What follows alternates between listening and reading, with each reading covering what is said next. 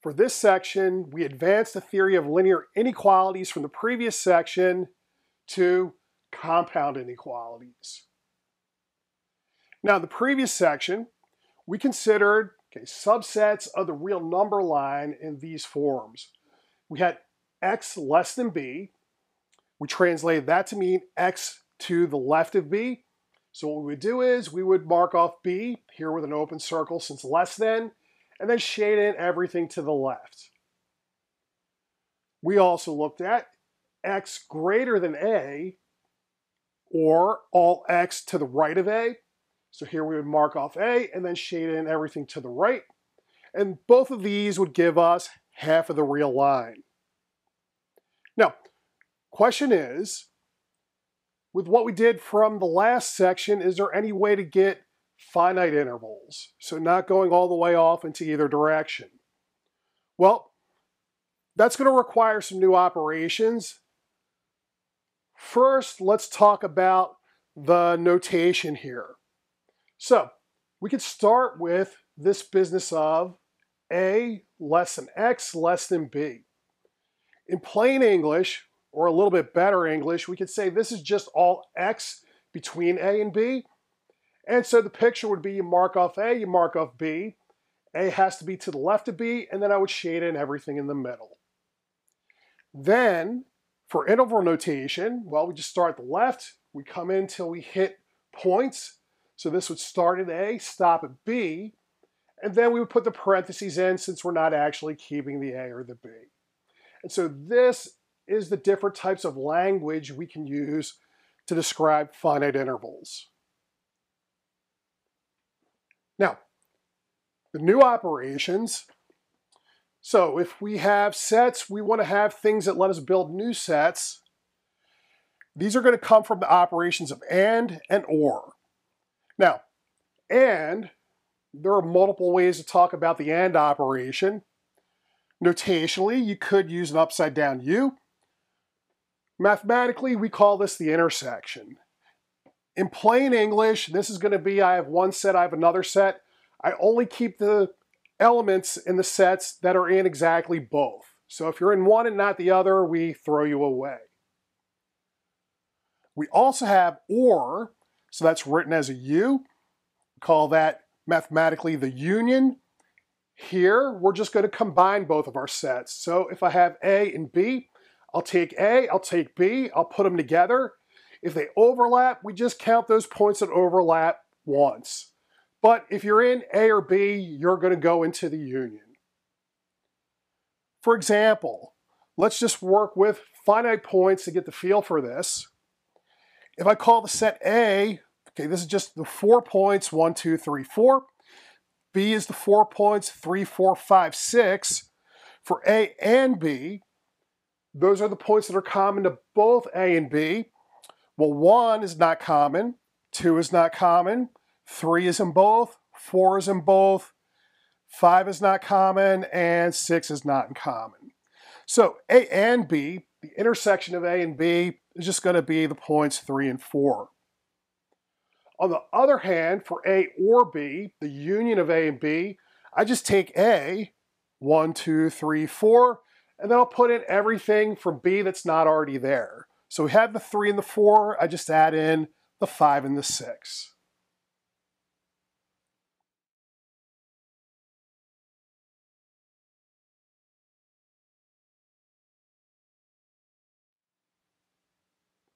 Let's look at an example. So we have x greater than 2 and x less than or equal to 5.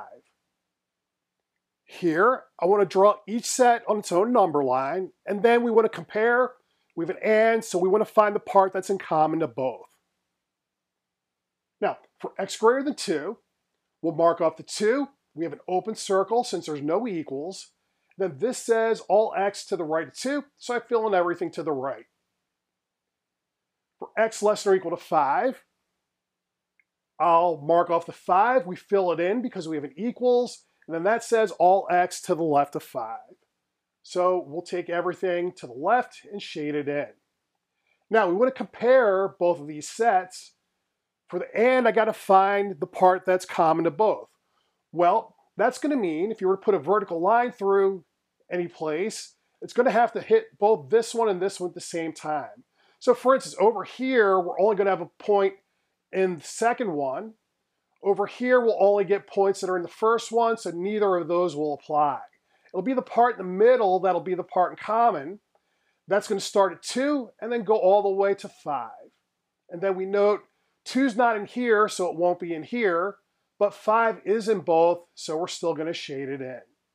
And then that is the picture of our answer. Now, if we translate, this is all x between 2 and 5, so I write it like this. We're going to keep the 5, so I put an equals. In interval notation, we're going to come from the left. We hit 2, we go to 5. We're not keeping the 2, so a parentheses. We're keeping the 5, so a bracket. And then that's everything I could say about the and here. If we were going to do the or, what's the or say to do? We're going to take this set and this set and just put them together. If they overlap, no problem. So in this case, we'll just get everything. And the way we write that, say in interval notation, we would start all the way at the left. So we're out at minus infinity, come all the way to the right, we get plus infinity. If you want to say it in plain English, you would just say all real numbers. Now, let's put this to a checklist. So if we have compound inequalities, so we have linear inequalities, we take two of them, we put them together with an and or an or.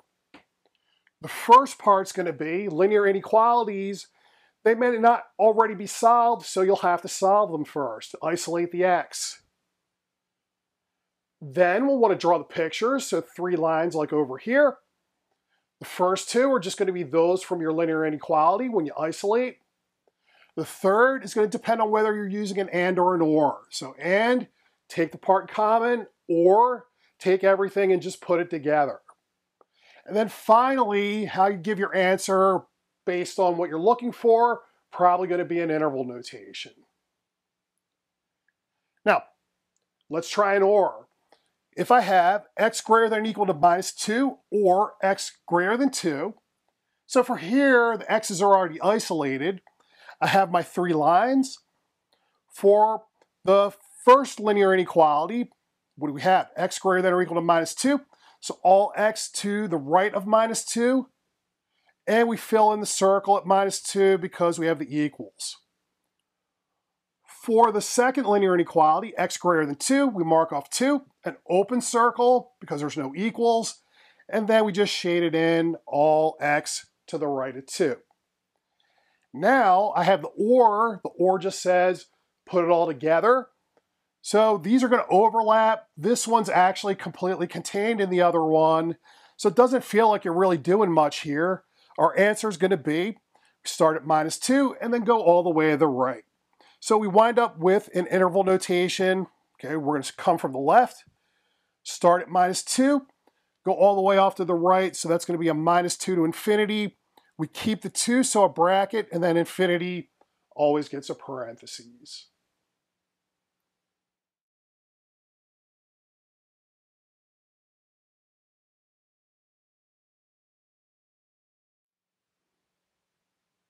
Let's consider a more complicated example. So I'll have 3 times x plus 5 minus 6 less than 12, and 3x plus 4 greater than or equal to 1 minus 2. So we'll note we need to isolate the x in both of these. Typically, for good bookkeeping, you would go off and do these off on the side, then get your answers, bring them back, and do your work with the two lines. If your answer didn't match the back of the book, you're going to do troubleshooting, and since we're solving several problems at once, you want to keep things where they belong, keep things clear. Now, let's do the second one first. That's 3x plus 4 greater than or equal to a minus 2. So we'll add minus 4 to both sides, get 3x greater than or equal to minus 6. Divide through by 3, we get an x greater than or equal to minus 2. So that one's isolated. For the other one, the first one, I need to distribute the 3 over the x plus 5. So I'll get a 3x plus 15. We subtract the 6, that's going to give me a 9. We move that to the other side. 12 minus 9 is a 3. So I have 3x less than 3. We divide through by 3 and we get x less than 1. So now isolated we have x less than 1 and x greater than or equal to a minus 2. We set up our two lines. For the first one, we have x less than 1, so all x to the left of 1. I mark off the 1, open circle, and then everything to the left. For the second one, x greater than or equal to minus 2, so all x to the right of minus 2. I mark off the minus 2, I draw the circle, fill it in because of the equals, and then everything to the right. For the and, we're going to take everything that's in both at the same time. So before minus 2, you'll only be in the first set. After 1, you'll only be in the second set. So we only want the things that are in the middle. So that's going to go from minus 2 to 1, and we're going to keep the minus 2. For our answer, in set builder notation, Okay, well, what does this look like? This is all x between minus 2 and 1, keeping the minus 2. So I'll have minus 2 less than or equal to x less than 1. For interval notation, we're going to start at the minus 2 and stop at the 1. We keep the minus 2, so a bracket, and then we're not keeping the 1, so parentheses. And then that, that's our answer. For an example with fractions, let's try this one. So this one's a little bit longish, so I got to stack the statement.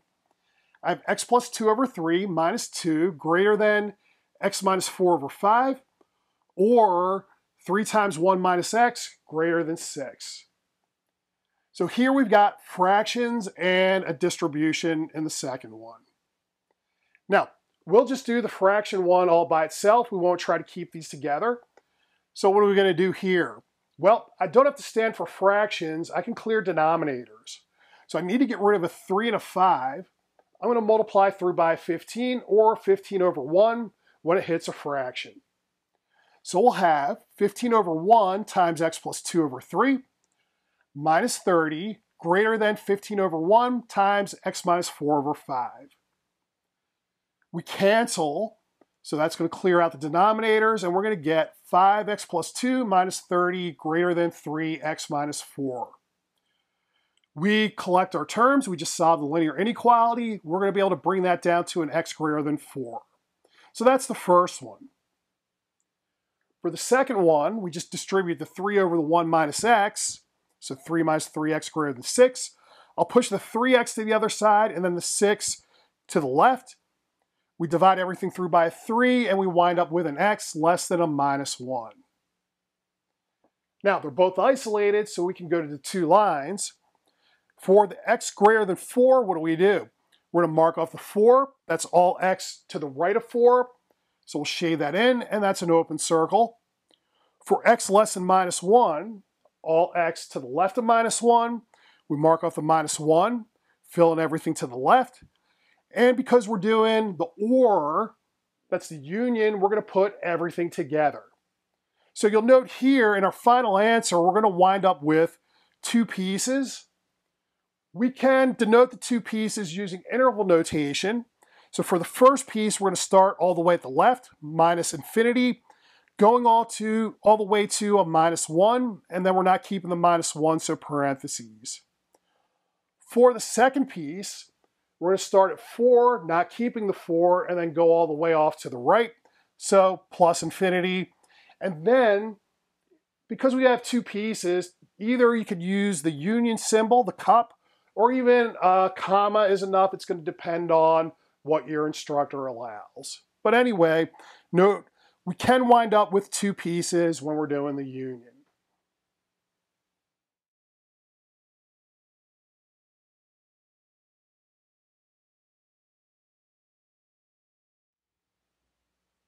Now, let's consider a very special case, the double inequality. This would be something like having A less than an expression less than B. Something like this first example we're going to do.